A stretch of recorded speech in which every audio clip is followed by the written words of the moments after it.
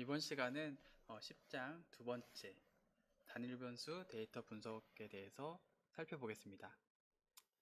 어, 이번 시간은 이제 세 가지 사례에 대해서 실제로 어떻게 분석을 간단히 진행해 보는지 어, 사례를 통해 배워볼 거고요. 그 중에서 첫 번째 타이타닉 호의 승객들이 어떤 선실에 묵- 묵었는지 한번 알아보겠습니다. 이것을 실습하기 위해서는 이제 carData 패키지 안에 있는 Titanic Survival이라는 데이터셋을 사용할 예정입니다. 그러기 위해서는 먼저 우리가 패키지를 설치해 줘야겠죠. carData라는 패키지를 설치해 주고 설치한 다음에는 한번 라이브러리를 통해서 로딩하는 carData 패키지를 로딩하는 이 작업을 해야 됩니다. 어, 이 carData 안에 이제 Titanic Survival 데이터셋은 뭐 탑승객의 성별이나 연령대, 뭐 탑승 선, 선실, 그러니까 어디에 타고 있었는지, 뭐 생존 여부 등을 담고 있는 여러 개의 주제를 담고 있는 다중 변수 데이터입니다. 코드를 보면서 한번 데이터를 살펴보겠습니다. 어, 패키지를 설치 안 하신 분들은 이제 한번 install 점 package를 해서 설치해 주시고요. 설치가 다 끝나면 라이브러리 함수를 통해서 carData 패키지를 불러옵니다. 불러왔으면 이제 우리가 Titanic Survival이라는 이제 데이터 셋을 사용할 준비가 된 거고요. 이 데이터 셋을 한번 head 함수를 통해서 모습을 보겠습니다. 보면은 이렇게 뭐 생존 여부, 성별, 나이, 그 다음에 선실 정보, 어디에 타고 있었는지 이렇게 나오죠. 그 중에서 우리는 이제 어, 알아보기 원하는 거는 어느 선, 선실 정보, 어느 선실에 얼마나 이제 사람들이 있었는지를 알아보고 싶은 거기 때문에 이제 여기 Titanic Survival 중에서도 패신저 클래스라는 칼럼을 사용할 겁니다. 이 달러 기호를 써서 room class라는 변수에 자료를 이제 저장해 오고요. 한번 잘 들어갔나 볼까요? 보면 이제 뭐 1등실, 2등실, 3등실 이렇게 factor 타입으로 여기 levels가 있는 거 보니까 factor 타입으로 지금 자료가 들어가 있죠. 이제 이거를 우리가 이렇게 자료를 쭉 나열해서 보면 지금 보- 봐도 한눈에 안 들어오죠. 이거를 하- 정리를 한번 하겠습니다. 우리 정리할 때, 집계할 때 어떤 걸 썼었죠? 네, 테이블 함수를 썼었는데요. 방금 저장된 이제 변, 변수를 테이블 함수를 써서 집계를 하면은 이제 선실 정보에 따라서 몇 번이 그러니까 각각 선실에는 몇, 몇 명이 있는지 카운트를 해줄 겁니다. 테이블 함수를 한번 실행해 보면 결과를 보면요. 1등석에는 뭐 323명, 이렇게 2등석에는 277명, 3등석에는 709명 이렇게 결과를 집계한 결과를 얻을 수가 있습니다. 총 이제 몇 명이 타고 있었는지도 궁금하죠? 그러면은 그냥 요거를 sum 함수를 통해서 합치면 이렇게 각 빈도를 합치게 됩니다. 1309명이 타이타닉에 타고 있었고요. 어, 이제 이거를 이제 집계해서 봐도 좋지만은 이제 시각적으로 한번 그려서 보는 것도 의미가 있을 겁니다. 한번 우리가 배운 것 중에 막대 그래프를 활용해서 표현해 보겠습니다. 막대 그래프는 barplot이라는 함수를 썼었죠. barplot 첫 번째에는 집계된 그 데이터 셋을 넣어주고요. 이제 이게 어, 사람들에게 이제 설명을 해주려면 실제로 제목도 잘 달아줘야 되겠죠. 선실별 탑승객이라는 네, 제목을 달아주고 어, 우리가 X축은 뭐죠? X축은 지금 보면 1등석, 2등석, 3등석을 이제 표현할 거기 때문에 선실 등급이라는 설명을 넣어주고요.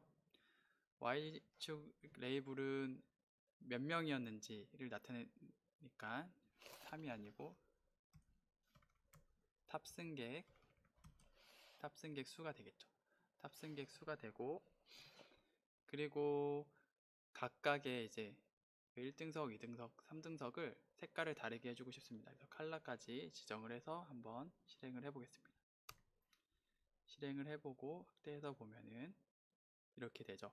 선실 등급은 1등석, 2등석, 3등석 세 가지 종류가 있었고 어, 3등석에 가장 많은 이제 탑승객들이 있었네요. 두 걸 두 등급을 합쳐도 어, 합친 거랑 거의 비슷할 정도로 좀 더 많을 정도의 탑승객이 음, 있었습니다. 3등석에 이렇게 막대 그래프를 통해서 한번 대략적인 데이터를 살펴봤고요. 뭐 우리가 막대 그래프가 아니라도 원 그래프로 그려볼 수가 있겠죠. 이제 비율 그 비율을 통해서 이제 원 그래프를 그려 그려볼 건데요. 이제 아까 집계한 요 TBL이라는 변수를 보면 각각의 빈도가 있었죠. 이 빈도를 전체 탑승객 수로 나눠주면은 그게 비율이 되겠죠. 그러니까 총 탑승객 중에 각 선실에 몇 퍼센트 몇, 얼마의 비율로 타고 있었나 이거를 이제 알 수가 있고 그래서 1등석 같은 경우에는 약 24.6% 정도 2등석은 21% 3등석은 54% 정도 있었다 를 이제 알 수가 있습니다. 이거를 이제 원그래프로 그리려면은 우리가 pie라는 함수를 쓰, 면 되는데요. 요 앞에 명령문이 궁금하시죠? 이거 앞에서 설명을 했었는데 par라는 이제 함수를 쓰면은 어떤 요 지금 보여주는 plot이 그려, 그려지는 영역의 설정들을 조금 바꿀 수가 있습니다. 그 중에서 MAR 하는 margin이라고 하는 요 매개 변수는요. 아, 아래부터 그 공간의 영역을 지정해 준 겁니다. 그래서 1, 그 다음에 왼쪽, 그 다음 왼쪽, 왼쪽에 1 정도 공간을 주고 위쪽에 4 정도 공간을 주겠다. 그러니까 위쪽에 훨씬 많은 여백을 주겠다 이런 뜻이고요. 이거를 실행을 하면 이제 그 다음 그래프를 그릴 때 적용이 됩니다. 그래서 원그래프는 이제 pie라는 걸 쓰고 똑같이 여기 집계된 데이터를 넣어줬죠. 그리고 제목도 선실별 탑, 탑승객. 뭐 똑같이 하고 탑승객 비율 해도 되고 탑승객 해도 되고. 그리고 각 pie를 또 색깔을 각각 지정해서 실행을 하겠다. 이렇게 하면 파이 그래프를 그릴 수가 있습니다. 여기 이제 아까 파 함수를 통해서 마진을 여기 상, 단을 많이 줬기 때문에 이렇게 좀 공간이 있는 것을 볼 수가 있고요. 여기 3등석이 이제 반 이상이라는 거는 이제 원그래프를 통해서 보면 확실하게 보이죠? 반 이상 차지하고 있다는 것을 쉽게 볼 수가 있습니다. 그 다음에 이제 파 여기 마진에 이렇게 값을 준 거는 변경, 변경하기 전에 디폴트 값입니다. 이게. 요거는 5.1, 4.1, 4.1, 2.1 요거는 디폴트, 디폴트 값으로 다시 바꿔준다 하면 다시 원래대로 설정을 되돌리고 그래서 이렇게 타이타닉 탑승객들의 이제 선실별로 얼마나 타고 있었는지 우리가 알아보았습니다. 좀 빨리 설명을 했지만은 차근차근 이제 코드를 직접 실행을 해보시면서 어, 해보시면 음, 어떤 의미인지 더 다가오실 겁니다. 두 번째 사례는 이제 미국의 이 제 주별 고등학교 졸업률에 대한 분석인데요. 좀 옛날 데이터예요. 그래서 미국 50개 주에 대한 1970년대 통계 데이터고요. state.x77이라는 데이터셋에 지금 음, 그 데이터셋을 활용할 겁니다. 이 데이터셋 중에서 HS 그레드라는 컬럼에 고등학교 졸업률 데이터가 들어 있고요. 어, 이것도 어, 코드를 보면서 한번 따라해 보겠습니다.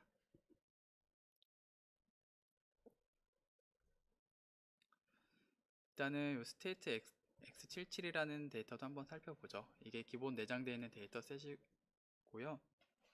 보면은 아 이렇게 보니까 너무 많죠? str 함수를 통해서 한번 보겠습니다. str 하고 이 데이터의 자료 구조를 한번 보면 음, 어 리스트로 되어 있네요. 리스트로 되어 있고 어떤 주 정보가 있고 그 안에 각각의 또 칼럼들이 있네요. 그래서 보면은 한번 보겠습니다. head 함수를 통해서 한번 다시 보면 어, 이렇게 column 정보들이 쭉 보이죠? 뭐 population, 그러니까 인구수, 뭐 수입, 문맹률, 뭐 기대 수명, 뭐뭐 살인율인가요? 뭐 범죄에 관련된 것도 있고 여기 졸업률 여기 있죠? 이렇게 여러 데이터가 있고요. 우리는 그 중에서 HS Grad라는 주별 고등학교 졸업률 데이터를 이용할 겁니다. 그래서 이 컬럼만 이제 빼주고요. 이제 데이터가 잘 들어왔죠? 각 주, 주에 대한 졸업률이 숫자 형태로 들어가 있습니다. 어, 일단은 전반적으로 이 수치형 데이터이기 때문에 이제 분포가 어떻게 되어 있는지 썸머리 함수를 통해서 살펴볼 수가 있어요. 썸머리 함수는 실행을 해보면 최소값 최소 값은 37.8 그러니까 졸업률이 가장 낮은 지역이 한 37.8이고 최대값은 67.3이다. 라는 이제 어쨌든 최소값 최대값의 자료의 범위를 우리가 찾을 수가 있고요 1ST 요거는 1Q 이전 시간에 한번 설명을 했었는데 그러니까 25%가 되는 지점에서의 졸업률입니다. 그러니까 48%. 그러니까 어, 그 다음 메디아는 이제 중간값으로 50%에 해당하는 50%에 해당하는 졸업률은 53이다. 그리고 이제 3Q는 75%에 해당하는 값이고요. 미는 이제 평균이고요. 그러니까 중간값과 평균이 유사하다는 것은 데이터가 뭐 가운데에 잘 있다라는 말로 좀 볼 수가 있습니다. 그리고 바라는 이제 함수는 분산을 구하는 겁니다. 분산이라고 하면은 음, 자료가 얼마나 흩어져 있는지를 이제 어, 표현해 주는 건데요. 이제 분산을 구하면 65 정도가 나오고 이 분산에 루트를 씌운 게 표준 편차라고 해서 우리가 어, 평균을 기준으로 자료가 얼마나 이제 흩어져 있는지를 알 수 있는 지표가 됩니다. 그래서 8 정도라고 하면은 졸업률이 평균에서 1표준 편차가 한 8 정도라고 하면 꽤 이제 차이가 나는 것을 우리가 알 수가 있습니다. 그럼 실제로 이제 분포가 어떻게 되어 있는지 조금 더 자세히 알고 싶잖아요. 그러면 한번 그래프를 히스토그램을 그려보면 됩니다. 지금 수치형 자료를 계속 다루고 있기 때문에 막대 그래프가 아니라 우리는 히스토그램 그래프를 그려볼 거고요. 히스토그램은 hist라고 이제 치고 첫 번째 우리가 그 알고 싶은 자료를 넣어주고 이제 실행을 해주면 됩니다. 그 외에 이제 우리는 제목도 잘 달아주겠는데요. 어, 이 자료가 지금 어떤 거에 대한 거죠? 그러니까 주별 졸업률이고요. 그래서 제목을 주별 졸업률이라고 달아주었고 X축을 X축은 어떤 정보가 될까요? 그쵸 졸업률이 되죠. X축에는 이제 졸업률이 나올 거고 졸업률의 어떤 구간을 지금 히스토그램을 통해서 임의로 이제 나눠 가지고 그 구간에 해당하는 주가 몇 개인지 Y축에서 표현을 해줄 겁니다. 그래서 Y의 레이블은 주의 개수, 몇 개의 주가 해당 범위에 속해 있는지 이고요. 색깔은 그 막대의 색깔은 오렌지색, 주황색으로 하겠습니다. 실행을 해보면 이렇게 분포가 되는 걸 알 수가 있죠. 그래서 50에서 55 사이에 졸업률이 가장 많고 한 15 개 중가요? 15개 정도 되고 그 다음이 55에서 60 그래서 뭐 한 12개, 3개 정도, 13개 정도 주가 있고 그래서 이 졸업률의 어떤 구간에 따라서 이제 몇, 몇 개의 주들이 속해 있는지 이렇게 한눈에 볼 수, 음, 확인할 수가 있습니다. 히스토그램을 그려봤고요. 어, 또 우리가 그려볼 해볼 수 있는 게 이제 상자 그림을 보는 거죠. 상자 그림은 이제 분포에 대한 정보를 조금 더 잘 볼 수가 있는데요. 음, boxplot이라는 함수를 통해서 그렸었죠. boxplot하고 여기도 똑같이 분포를 보고 싶은 자료를 넣어준 다음에 제목은 뭐 또 동일합니다. 조, 주제가 지금 계속 주별 졸업률이기 때문에 주별 졸업률을 하고 그 상자의 색을 오렌지색으로 해서 그려보면 네 이렇게 된 것을 알 수 있습니다. 어, 기억이 나실지 모르겠는데 요 가운데 굵은 선이 이제 50%에 해당하는 중앙 값이고요. 이게 한 50, 한 3 정도 되네요. 53 정도고 첫 번째 여기 밑에 있는 박스의 밑에 있는 선은 25% 구간 1Q에 해당하는 거고요. 그 위에 박스에 해당하는 부분은 3Q에 해당하는 75%에 해당하는 구간의 값입니다. 한 58 정도 되려나요? 58 정도 될 것 같고 그리고 요 위에는 최대값 요 밑엔 최소값 그래서 어, 아까 우리 썸머리 함수를 통해서 그려본 것처럼 이거는 이제 그거를 시각적으로 뭐 우리가 보, 보게 볼 수 있는 이제 그래프입니다. 이렇게 데이터 분포를 어, 이제 확인할 수가 있습니다. 어, 그 다음에 이제 계속 질문을 던져가는 거예요. 여러분 보면서 아 그렇다면은 졸업률이 가장 낮은 주는 얼, 어, 얼마나 될까? 그 졸업률이 얼마나 될까? 아니면 어느 주일까? 이런 것들을 이제 찾을 건데요. 이제 찾을 때는 which라는 함수를 써서 그 해당 데이터의 인덱스를 이제 우리가 구할 거고 그 인데 구한 인덱스를 가지고 그 특정 위치의 값을 출력을 해볼 겁니다. 최소값은 이제 min 함수를 통해서 우리가 할 수 있죠. 그래서 요 말은 그래드에 있는 값 중에서 최소값이랑 같은 같으냐고 위치까지 쓰면 같은 곳의 위치를 찾아라. 그래서 그거를 인덱스에 저장을 idx라는 변수에 저장을 해라 이런 뜻입니다. 실행을 해보면 idx에는 몇 번째 값이 가장 작은 값이냐면 40번째고 그 40번째에 해당하는 주의 이름은 사우스 캐롤, 캐롤리나 라는 주입니다. 그래서 이 주의 그럼 졸업률이 얼마일까 하면 우리가 그레드라는 변수에다가 그 인덱스 값을 넣어줘서 한번 출력을 해봅니다. 그러면 37.8 아, 이 사우스 캐롤리나 주의, 주의 졸업률이 가장 낮은데 졸업률은 37.8이구나 이거를 알 수가 있습니다. 그럼 반대로 그럼 졸업률이 가장 높은 주는 어딜까? 그럼 min 대신에 이제 max 함수를 쓰면 되죠. 다 똑같고 max 함수를 써서 똑같이 하면 유타 주가 이제 가장 높은 졸업률을 보이고 그 유타 주는 데이터 셋의 44번째에 있습니다. 그래서 유타 주의 실제 졸업률을 보려면 grad 한 다음에 대괄호를 하고 인덱스를 넣어주면 아, 67.3의 3%의 졸업률을 보이는구나 이렇게 알 수가 있습니다. 마지막으로 이제 졸업률이 이제 어떤 평균 이하인 주들만 그러면은 한번 보고 싶다 하면은 비교할 조건에 민 함수를 쓰면 되죠. 민 하고 그레드 하면 이게 평균이 구해지고 평균은 53.1 정도 되고요. 그거보다 작은 값들을 가진 인덱스를 찾아라. 요 뜻이 되고요. 실행을 하면 여러 개의 값이 아마 출력이 될 겁니다.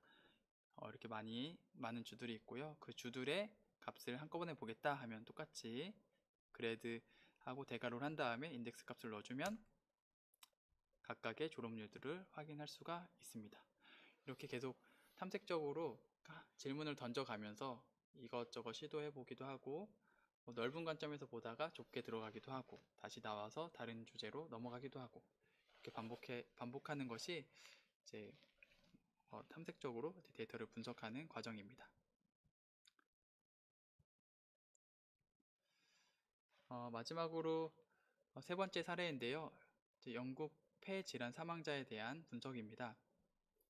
이거는 이제 어, 교재에서 제공하는 데이터셋을 불러와서 우리가 분석을 할 거고요.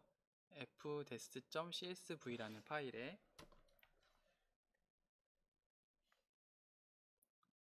자료가 저장되어 있습니다.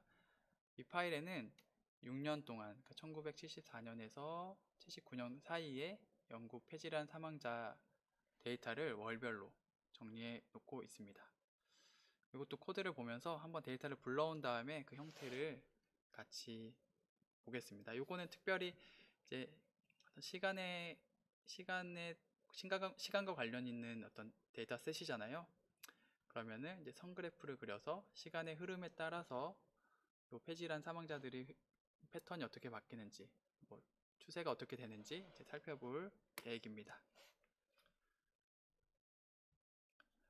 코드를 한번 실행을 하기 전에 여기 보시면 먼저 아까 우리가 불러올 데이터셋을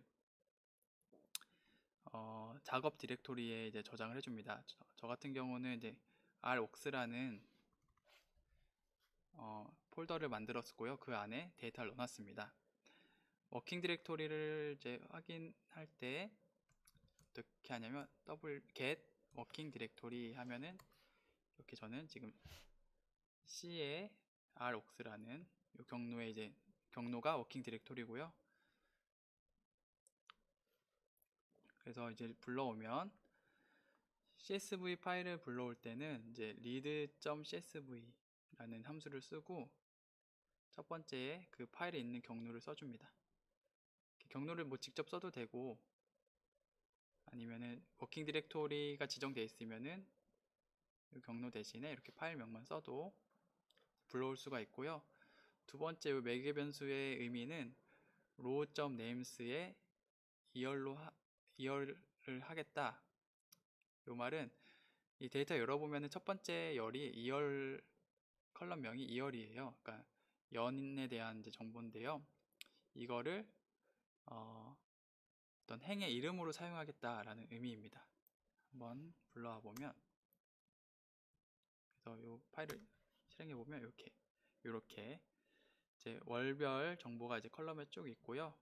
방금 첫 열에 원래 데이터셋에 있던 첫 열을 행 이름으로 쓰었기 때문에 실제 column에서 빠져서 행 이름으로 이제 지정이 된 겁니다. 그래서 이렇게 데이터셋이 6년치 데이터셋이 월별로 정리가 되어 있습니다. 요 각 수치는 이제 해당 년과 월의 이제 폐질환 사망자에 대한 수치고요. 그래서 이제 이것을 우리, 우리가 선 그래프로 그릴 건데요. 선 그래프로 그리기 전에 이제 6년에 대한 그래프를 각각 그릴 때 색을 다르게 하기 위해서 미리 색을 지정해 놓겠습니다.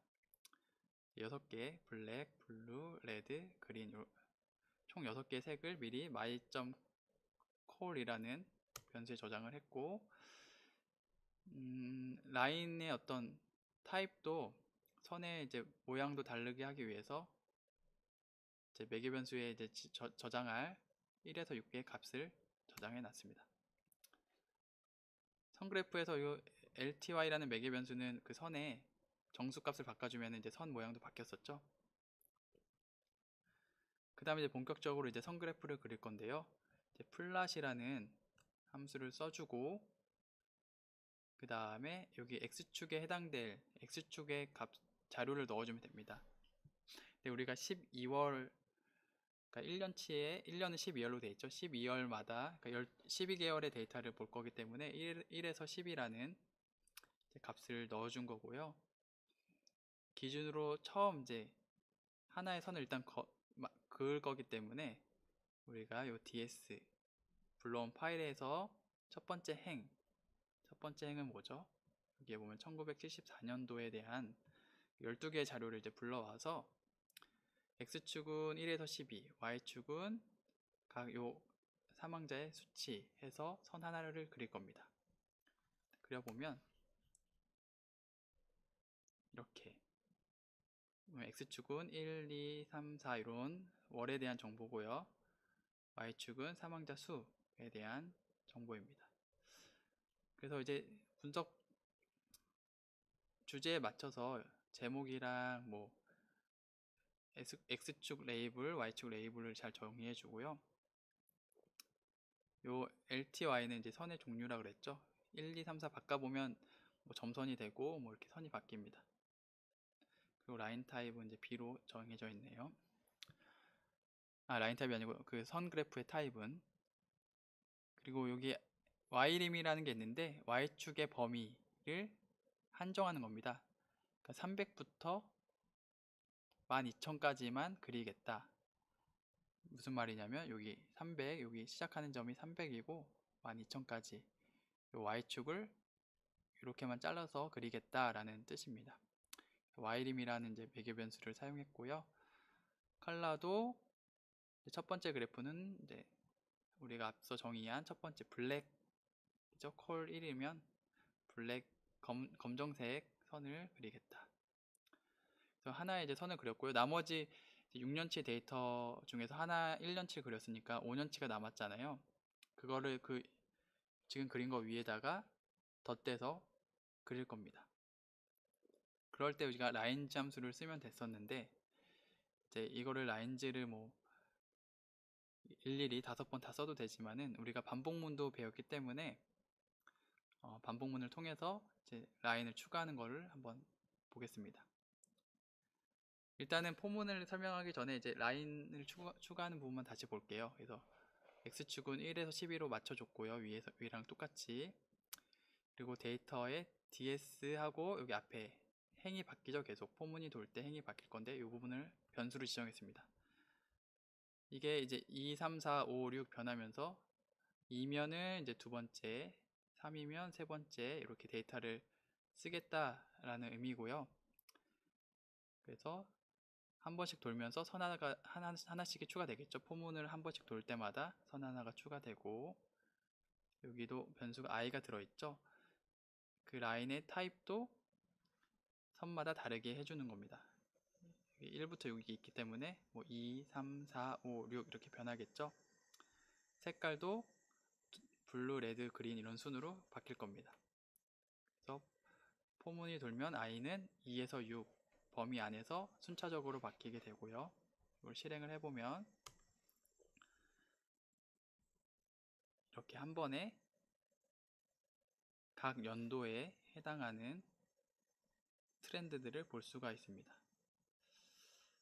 어, 빨간색에 해당하는 연도가 뭔가 2월에 좀 특이했네요. 이때 뭔가 이슈가 있었던 것 같은데. 근데 우리가 이렇게 보면은 지금 빨간색이 몇 년도인지 알 수가 없잖아요. 그래서 이때 뭐를 추가하면 좋을까요?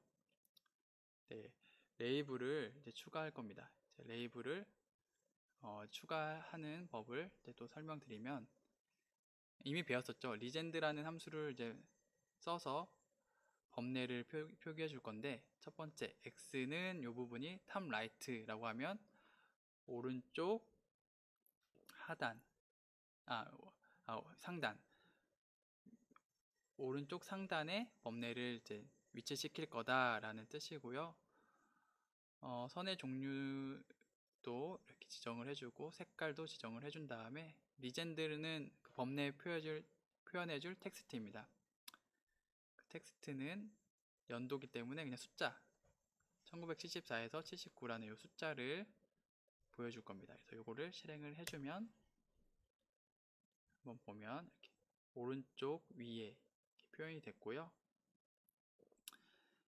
어, 이렇게 리젠드 안에 이제 매개 변수 legend를 통해서 이렇게 텍스트도 다 기입을 해줬고 선 종류나 색깔들을 다 지정해 주었습니다.